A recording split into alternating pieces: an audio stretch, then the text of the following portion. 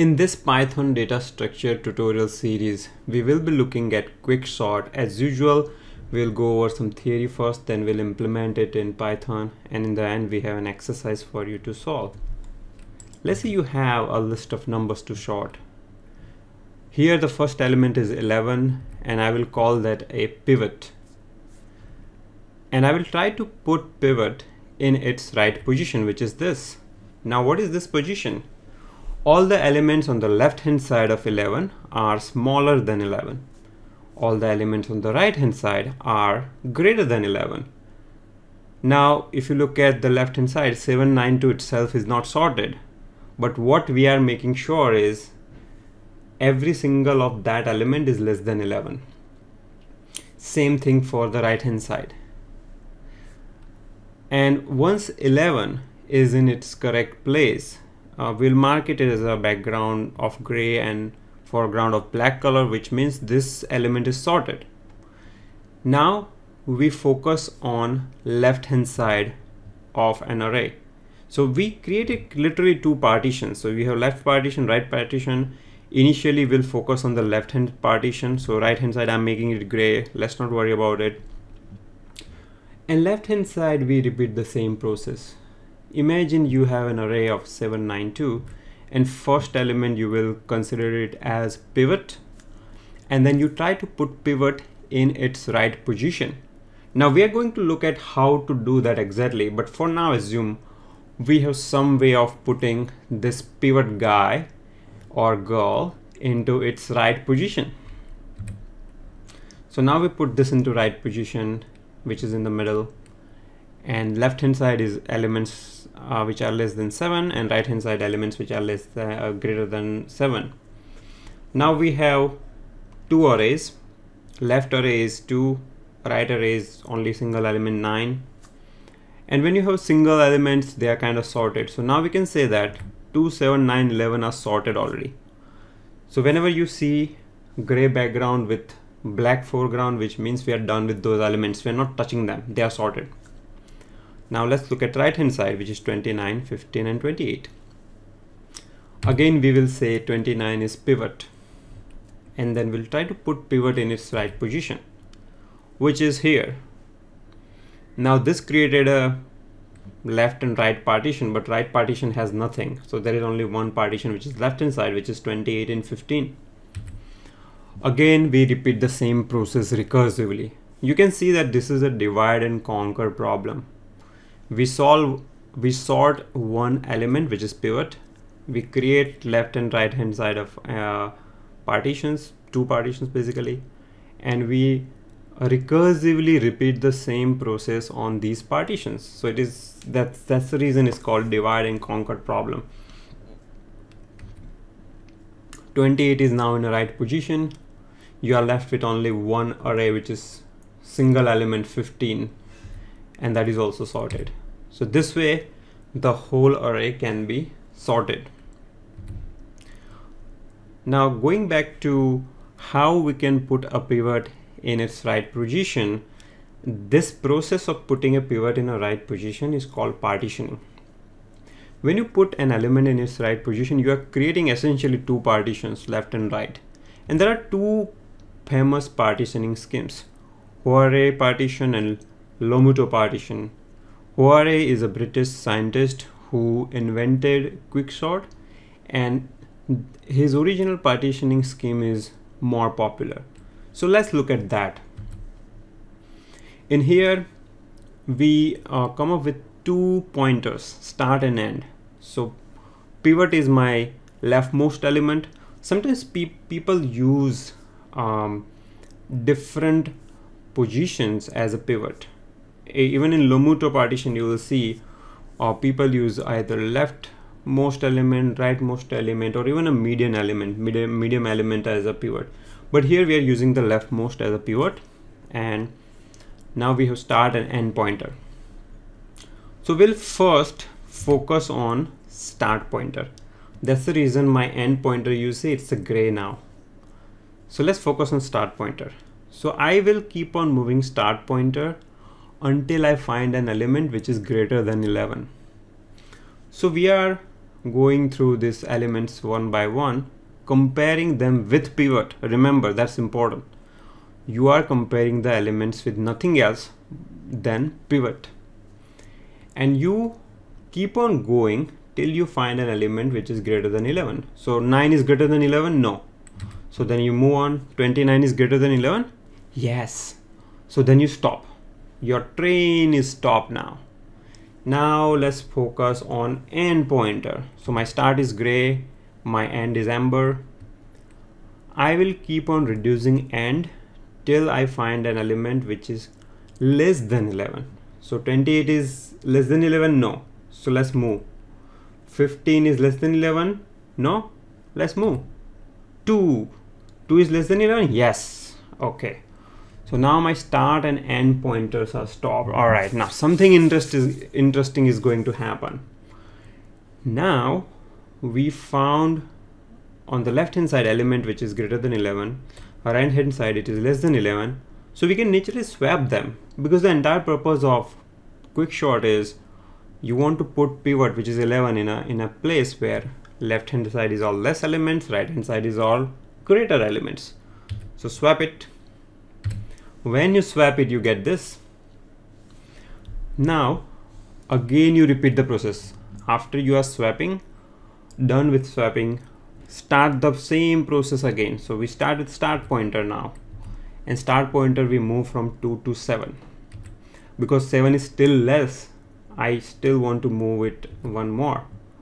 So remember the start pointer will keep on moving until you find an element which is greater than 11 so 29 is greater than 11 so now I will stop my start. Now let's start with now let's uh, do the iteration for end pointer. For end pointer what is the rule? The element 29 is greater than 11 so then move. So now I moved and I came here. Now we stop this process whenever end will cross the start. You know there is a start there is an end and when end crosses start here you stop. When you stop at that time swap your end and your pivot. Something magical happened now. Well 11 is in its right place. See this process is it sounds complicated but it's not actually. All you're trying to do is put this 11 element in its right position. And then you do the same process for left partition and right partition. And if you keep on doing that the whole array will be sorted as we saw in the earlier presentation. So this was Hoare's partition. This is very popular. There is Lomuto Lomuto partition. I don't know how to pronounce it sorry. Lomuto partition the way this works is you decide your end element as your pivot. You can decide your left element or middle element as well, but here the end element being pivot is very popular. And then your start element, which is 11, you call it P index, which is partition index. And you keep on moving partition index till you find the element which is greater than uh, pivot. See now I found 29 see I was 11 then I moved to 9 and then 29 now 29 is greater than uh, 28 okay? So again just to remind you in this whole partition process we compare every element with pivot. We don't compare it with anything else with pivot. So 29 is greater than 28 that's why we stopped now we start another counter called i. And that i starts with p index. So i initially is same as p index. It will keep on moving until it finds the element which is less than 11 so 29 is not less than 11 so it will move and it will come here. And now 7 is less than 11 all right now something interesting is going to happen. Let's stop here. Let's do something interesting. What is that Ooh. So now at this position, swap 29 and 7. So when you do that, uh, you're creating a left hand side which is less than 28, right hand side which is greater than 28.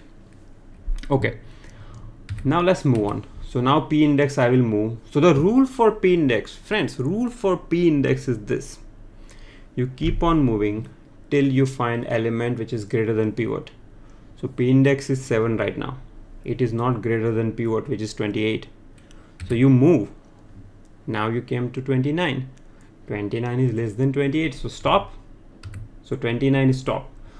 So once you stop p index then you worry about your i. So i is a counter and the rule for i is reverse.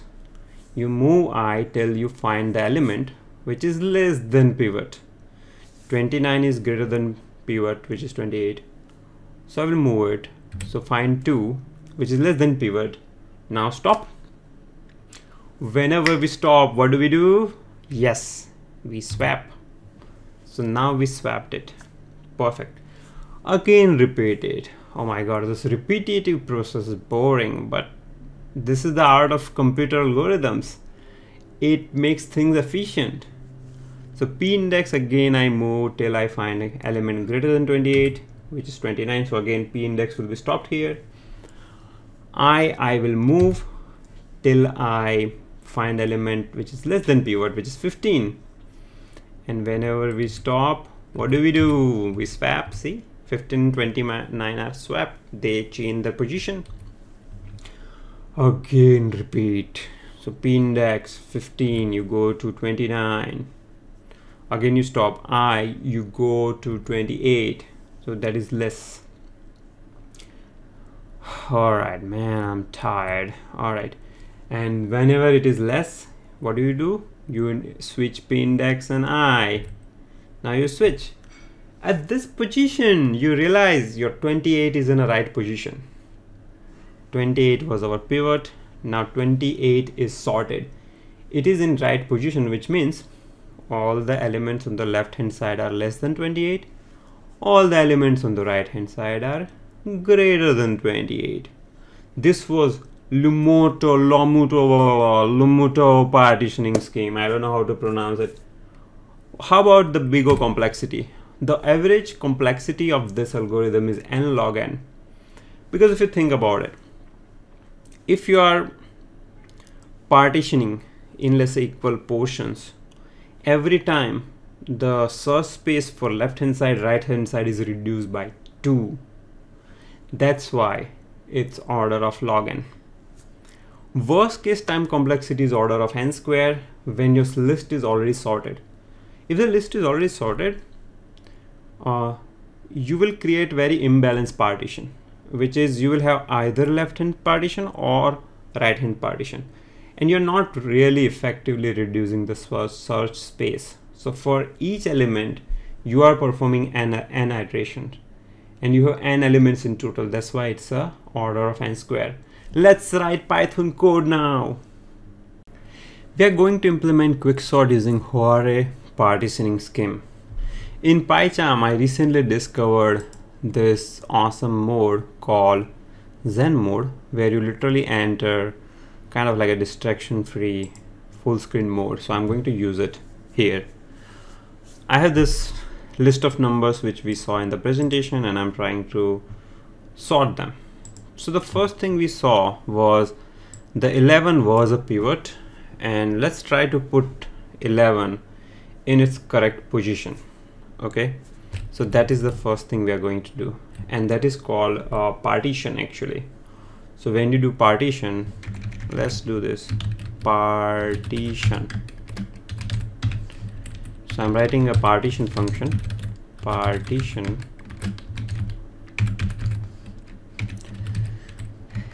And once this function is done I should have 11 in its correct position which is almost in the middle of the list.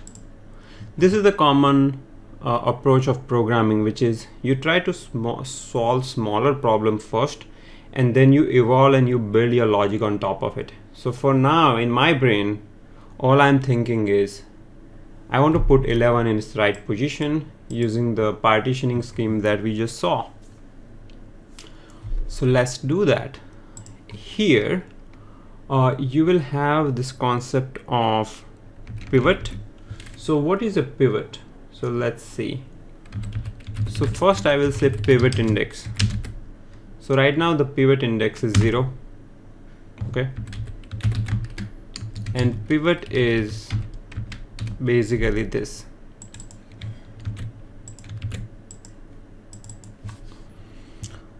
Or let me just do this yeah? Or this whatever. All right. So I'm just using variable doesn't matter.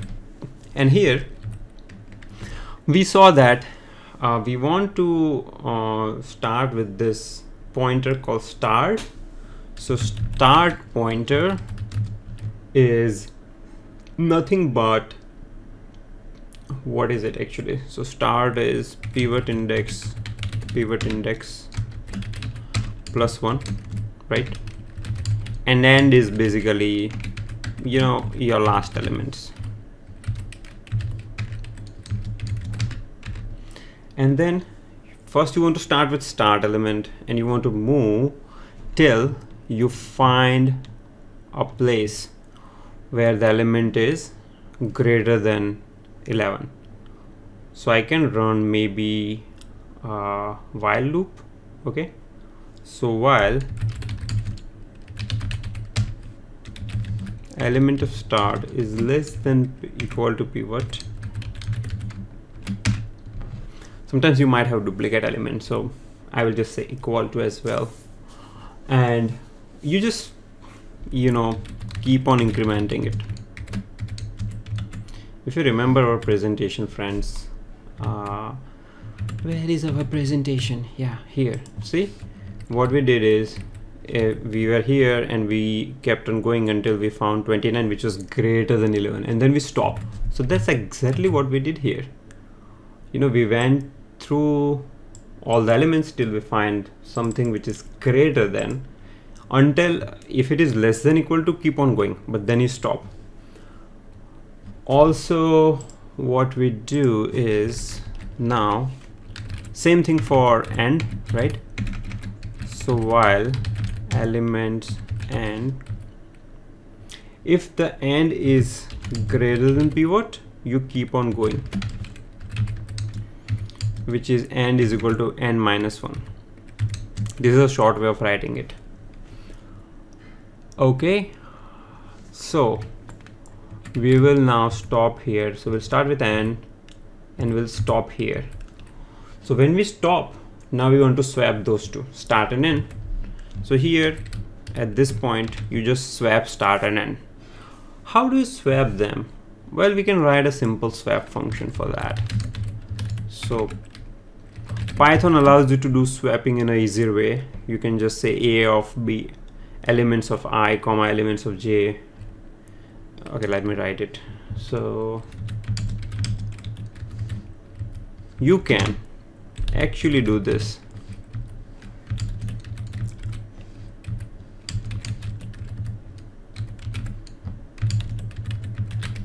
you can do this. Uh, it will work. But just to make things more primitive. You know I will just say okay I will use the old school temp variable method. You store first the first element into temp then you say this b and then b is equal to temp. This is a standard way of swapping elements in any programming language and just to be on a sure side if a not equal to b then only do it. Because I don't want to you know if they are both same index I don't want to swap it. Okay. Now we are swapping what? Okay. We are swapping start and end. Simple. There is no rocket science here guys. Guys and gals there is no rocket science and just to be on a safe side I want to make sure if start is less than end because see you will stop this when end becomes less than start. You don't want to perform any exchange between start and end when end is less than start or you know so you swap only if start is less than end so far I hope it makes sense to you all this is the code and when I run it right click run. Ooh. oh we forgot to do one thing. Actually uh, remember once we come to this position we want to swap AND with pivot. So let's do swap. What do we want to swap? AND with pivot. Okay. So swap pivot index with AND in elements array. And when you run it you find that 11 is oh no 11 is not in a correct position. Something is going on. Okay after code examination i'm finding it that we are running two while loops okay which is start and end.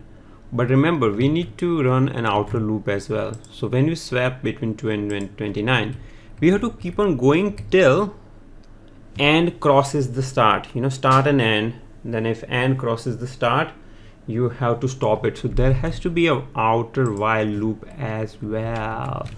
So while start is less than and this has to be there. Okay? And when you right click run. Tan tan 11 is in its correct position let me enter my zen mode enter zen mode Ooh. Enter my Zen mode. Okay, I'm meditating now. So my partition function looks good. I need to now make it generic. I did pivot handling for the first element. I need to now do it recursively. So how do I do this recursively? Well, hmm, let's see. There is something in partition element. So I need to first here pass start and end element. You know, I was taking this as a hard-coded values, but this has to be made an argument and this will be start, correct? So now partition should be start and end, start and end. Quicksort should also have start and end because it's gonna be called recursively. And start and end will be when you call it for the first time it will be length of elements minus one. Because list starts with zero index that's why we do minus one. And hmm now we do this which will work. But in the end uh, see when I put 11 it's in its right position like this I need to now recursively call quick quicksort on left partition and right partition. So whatever position I put this in, uh, I need to return that index. Let's say this is a partition index. So that index, by the way, will be what? See, the index will be end. So end pointer is pointing to that right position. So that is the position. This is end. So I need to return end here. So I'm returning end okay and that I will call it a partition index and once I have a partition index I have two partition so this is the PI partition index I need to now recursively call quicksort on left partition which is starting from zero or start position to uh, this partition index minus one. Okay? So I will be doing something like this. And I need to call it on uh, pi index plus one and and as well. I hope this makes sense. This is a left partition. Okay left partition. This is right partition. And how long should I do this process? Well if start is this then end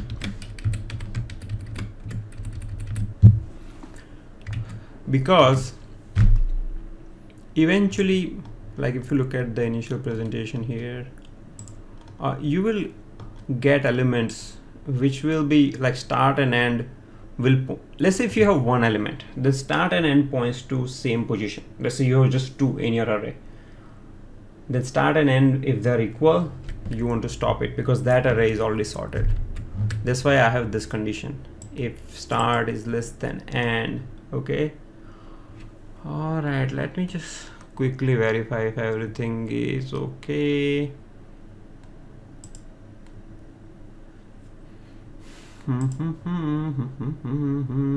all right looks good. Right click run.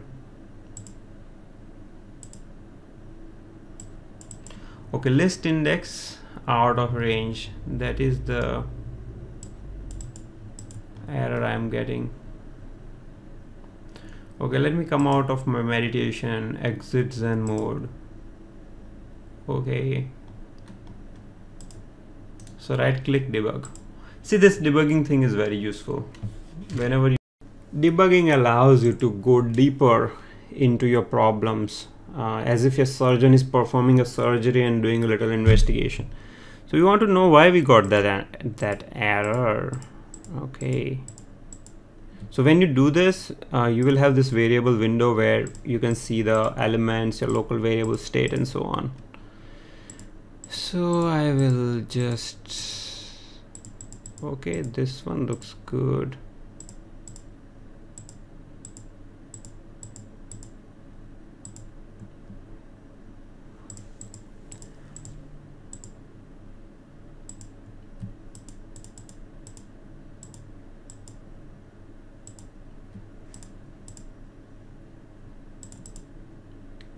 So my start is zero and this is n okay I keep on going and you have to be patient actually to find out the problem.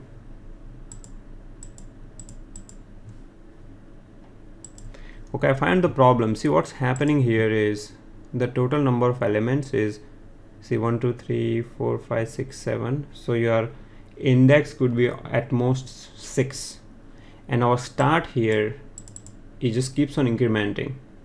When we are solving a problem for this array 29 15 and 28 see the element 15 and 28 is less than 29 so this loops loop keeps on going.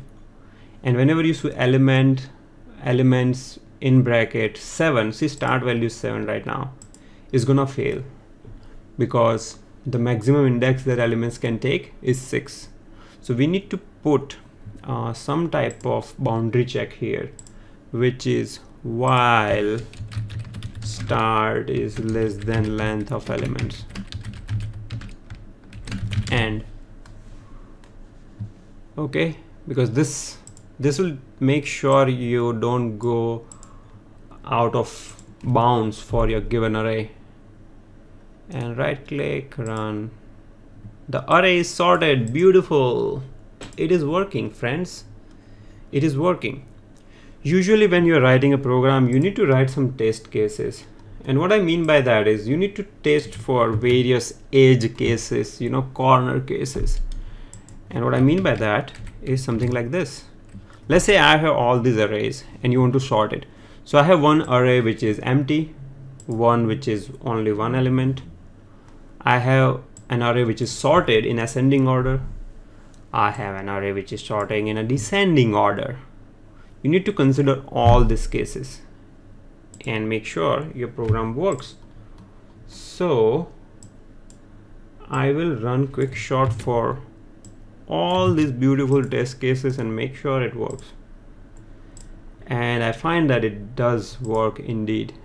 So you can see that all these arrays, you can just compare all these arrays are kind of sorted perfectly. Alright, our quick sort using Hoare partition scheme is over. As an exercise, I want you to implement same quick sort using the Lumoto partitioning scheme. Here is the exercise description.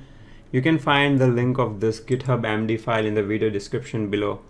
I also have a link of the Python file which I implemented, basically this particular file here I have a link of that in the video description below as well, so check it out. In exercise, uh, you can look at this Wikipedia link for quick sort and you can go to Lumoto partition scheme and study the pseudo pseudocode which is mentioned here. So this is the pseudo pseudocode and all you have to do is write a Python code for this one. It should be fairly straightforward. I hope you try it on your own before you click on solution link. Clicking on solution link directly is going to give you a fever actually. So be careful. Uh, you need to try on your own. Coding is something you have to practice and then only you can learn it. By watching my video, you're not going to become an expert. You have to practice, practice, practice, practice, practice. I hope you're liking this tutorial series so far. If you do, please give it a thumbs up, share it with your friends on Facebook, WhatsApp, whatever medium. I'm gonna cover many more tutorials actually in this uh, data structure and algorithm series. I have a link of complete playlist in the video description. So please check it out, follow all these tutorials. Data structures and algorithms are extremely important they're very important during interviews. So if you want to crack coding interview for programmer position, data scientist position, you you have to know this. For data scientist position, I think it's still you need to know not much, but for programmer position, you have to be really expert into this. All right. Thank you very much for watching. Goodbye.